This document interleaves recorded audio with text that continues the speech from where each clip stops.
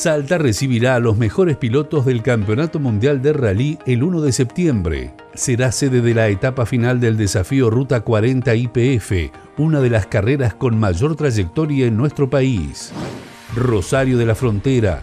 Las obras en el hospital tienen un avance del 70%. Se construyen los sectores de internación y fisioterapia. La ampliación de las camas de internación, pero a su vez también estamos fortaleciendo lo que es el servicio de terapia intensiva, lo que es el quirófano, es decir, hay una serie, digamos, de, obras que hay dentro del hospital que van a hacer, como te decía, que este sea uno de los hospitales modelos del sur de la provincia. Mañana inicia el pago del programa Intercosecha.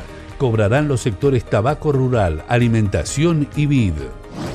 Güemes, las obras que se ejecutan en el barrio Nueva Esperanza 2 superan el 80%. Se realizan en el marco del programa RENAVAP. Beneficiarán a 250 familias.